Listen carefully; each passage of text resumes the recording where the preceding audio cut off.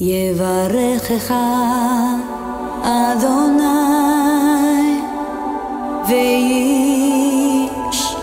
מרעך יאה אדוני פניו אליך והוא ניכר יישא אדוני פניו